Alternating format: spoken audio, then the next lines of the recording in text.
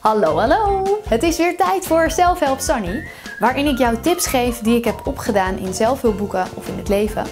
En deze week is dat netwerken. Of eigenlijk, hoe overleef ik netwerkevents? Want als ik eerlijk ben, heb ik er best wel een hekel aan. Ik ben er ook helemaal niet goed in. En misschien verwacht je het niet zo snel van iemand die zo graag voor de camera staat. Maar ehm, ja, ik kan echt super verlegen worden op netwerkevents. Ik was twee weken geleden bijvoorbeeld op zo'n borrel. Ik dacht, nou, ik uh, ga lekker alleen. Dan kom ik wat meer mensen tegen, ontmoet ik makkelijker mensen. Nou, dat was dus helemaal niet het geval, want iedereen die had een bekende meegenomen. Ik stond daar een beetje zo alleen. En ja, ik voelde me zo ellendig. Dus ik dacht, hier moet ik echt wat beter in gaan worden. Ik ben er wat over gaan lezen, uh, waaronder andere in dit boek. Unlabel, Selling You Without Selling Out van Marco Echo, Mark Echo. Um, en ik heb wat blogs erover gelezen, dus ik deel heel graag met jou de tips die ik het beste vond. Maar laat ook vooral jouw tips achter in de comments, zodat we een gesprek hierover met elkaar kunnen aangaan en op die manier allemaal beter worden in netwerken. Hier komen ze. Nummer 1, de basis. Mark Echo zegt: drink alleen water. Want ja, je kan natuurlijk niet laveloos rond gaan lopen op zo'n feestje.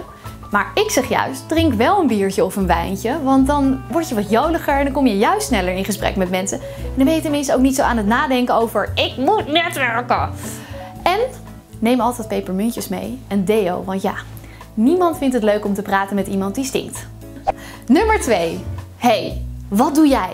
Dat is toch een beetje een dooddoener. Je kan beter vragen, Goh, wat heeft jou deze week bezig gehouden? Of uh, wat heb je nog te wensen voor je bedrijf of voor je studie? Of waarmee zou ik jou heel erg kunnen helpen? Het is helemaal niet erg om advies te vragen of om advies te geven. Vooral advies vragen is een, vind ik een hele goede tip als je een afspraak met iemand wil regelen. En wees ook echt niet bang om het te geven, weet je. Misschien kan je wel ergens bij helpen. En denk je nu, van, nou ja, wat heb ik eigenlijk aan die persoon? En zit ik er allemaal moeite in te stoppen. Maar misschien komt er hierdoor wel een heel leuk gesprek op gang. En kan diegene jou later koppelen aan iemand die je wel nodig hebt. Dus wees niet bang om te geven. Nummer 3. Degene die jij wil spreken, die staat waarschijnlijk naast iemand anders. Bijvoorbeeld een collega, een vriend, een assistent of een manager. Introduceer jezelf ook aan deze persoon. En betrek diegene ook bij het gesprek en geef ook je kaartje aan hem of haar. Want dat is niet alleen het juiste ding om te doen, maar uh, deze hand of the king, die kan later misschien wel eens iets heel erg positiefs over jou te zeggen hebben. Nummer 4. Visitekaartjes. Eigenlijk vond ik het zelf een beetje ouderwets, maar ja, het wordt wel heel vaak gevraagd, dus ik heb ze laten maken.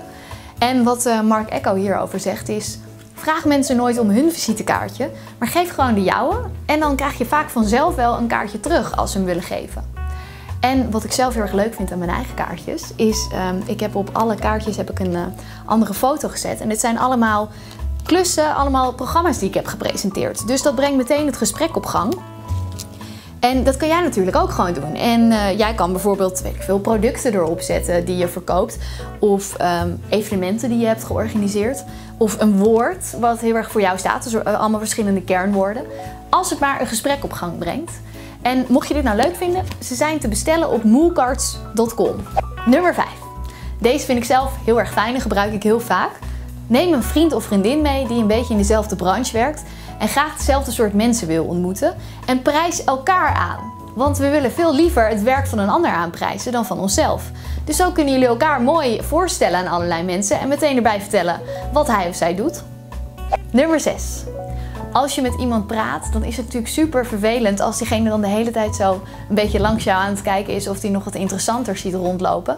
Dus doe dat ook niet bij iemand anders. Probeer echt in het moment te zijn en echt helemaal bij het gesprek aanwezig te zijn. Dus luister heel goed.